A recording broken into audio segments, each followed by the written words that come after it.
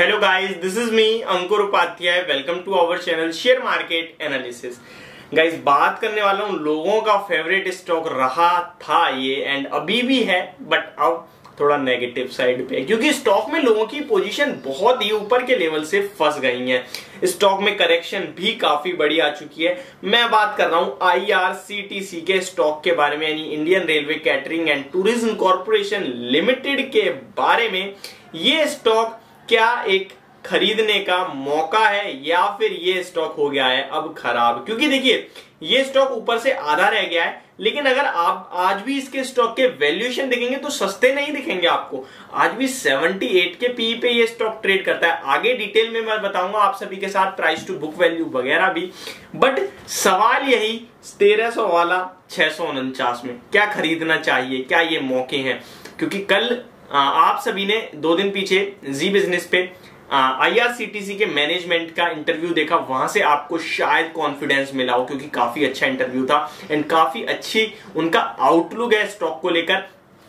कह रहे थे कहीं ना कहीं बुकिंग्स बहुत अच्छी आती हुई दिख रही हैं एंड टिकट बुकिंग में थोड़ा सा आ, क्या कहते हैं शेयर बढ़ा है। तो इसके मामले में मैं आप सभी के साथ कुछ चीज़ें शेयर करने वाला हूँ आज के सेशन में एंड कुछ लेवल्स अगर किसी के पास ये शेयर है तो और अगर कोई खरीदना चाहता है तो क्या उसको लेना चाहिए? इसी के बारे में बात करेंगे। वीडियो को आगे बढ़ाने से पहले आप सभी से एक रिक्वेस्ट करना चाहूँगा। अगर आप मेरे चैनल पर पहली बार विज़िट कर रहे हैं तो प्लीज़ को सब्सक्राइब कर ले नोटिफिकेशन बेल आइकन दबा दे, ताकि मेरी वीडियो आप लोगों तक पहुँचे सबसे पहले। कहीं अगर ये वीडियो आपको समझ आए, पसंद आए तो प्लीज़ को लाइक भी कर देना, ताकि मुझे मोटिवेशन मिलती रहे।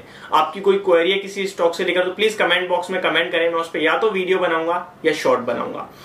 आईआरसीटीसी सिक्स फिफ्टी रुपीज़ की क्लोजिंग आज के सेशन में आपने देखिए फ्लैट टू पॉजिटिव बंद हुआ है, दो रुपए बढ़कर लगभग क्लोजिंग देता हुआ दिखा है। वॉल्यूम्स बिल्कुल गायब हो चुके हैं स्टॉक में से, जहाँ पे स्टॉक में बहुत अच्छे वॉल्यूम्स ट्रेड होते थे, वहीं लोगों का इंटरेस्ट खत्म होता हुआ दिख रहा है। बट पोजिशन लोगों की आज भी इस स्टॉक में क्यों? क्योंकि फंस गई है। एंड एक रिटेल इन्वेस्टर जब लॉस में आ जाता है ना तो वो अपनी शॉर्ट टर्म की पोजीशन ऑटोमेटिकली लॉन्ग टर्म की कर देता है। ये सबका रूल है यहाँ पे। तभी पैसा बनाना बहुत मुश्किल हो जाता है। एंड अगर प्रॉफिट में होता है तो तुरंत वो बुक कर लेता है। देखिए, यहाँ खरीदना चाहिए या नहीं खरीदना चाहिए, इसके बारे में बात करता हूँ।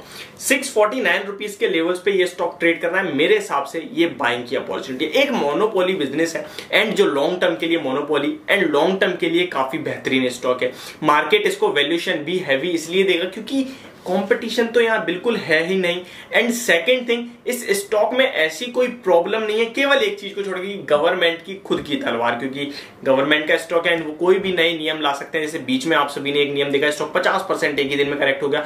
एंड सेकेंड डे सडनली वो नियम सेम डे ही इनफैक्ट वो वापस करा गया। टिकट बुकिंग का जो हाफ़ प्रॉफिट शेयरिंग था, उसके चक्कर में स्टॉक डेड हो गया बिल्कुल। एंड उसके बाद उस जो उनका जो बयान था, वो तुरंत रिवर्स करा गया एंड उसके बाद स्टॉक में आपने दोबारा रिवर्सल तेज़ी भी देखी। अराउंड इन्हीं लेवल्स पे स्टॉक आ गया था, मैं आपको ये भी बता दूँ।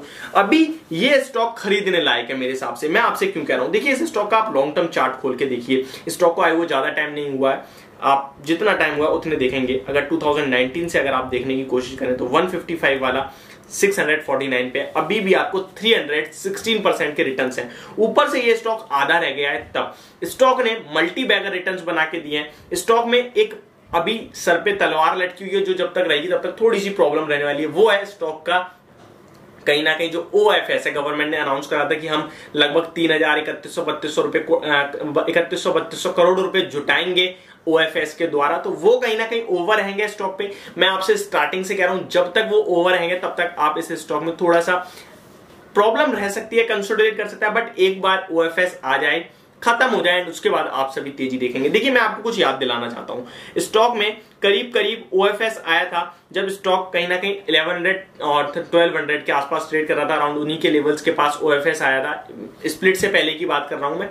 तो ओएफएस आने के बाद स्टॉक में आप सभी ने जो है कंसोलिडेट हुआ काफ़ी टाइम तक, लगभग मई 2020 से लेके स्टॉक आप सभी ने कंसोलिडेशन देखा जनवरी तक, यानी मई, जून, जुलाई, अगस्त, सितंबर, अक्टूबर, नवंबर, दिसंबर, जनवरी, लगभग नौ महीने का आप सभी ने कंसोलिडेशन देखा। उसके बाद स्टॉक में जो तेज़ी देखी आप सभी ने, लगभग अगर अभी के प्राइस के हिसाब से बात करूँ तो 290 से स्टॉक भागना स्टार्ट हुआ एंड लगभग 1200 तक गया। ये स्टॉक की खासियत है कि जब चला था तो सबने देखी तेज़ी इसकी एंड ये तेज़ी आपको आने वाले टाइम में दोबारा भी दिखेगी। एंड बहुत सारे मोनोपोली स्टॉक्स हैं, वो आधे रह गए हैं। दैट मीन्स मोनोपोली स्टॉक जो भागे थे बुरी तरह से, वो घटे भी बुरी तरीके से मार्केट की करेक्शन में। फॉर एग्ज़ाम्पल आप कैम्स देख लीजिए, आप सीडीएसएल देख लीजिए, आप आईईएक्स देख लीजिए। तो ये कुछ ऐसे मोनोपोली बिजनेसेस हैं, जहाँ पे और कंपटीशन भी है बट फिर भी ये आधे परसेंट आधा रह गए हैं ऊपर से। सेम टू सेम आईआरसीटी जहाँ कोई कंपटीशन ही नहीं है। एंड स्टॉक करेक्ट हो रहा है, मेरे हिसाब से अपॉर्चुनिटी है खरीदारी करने की।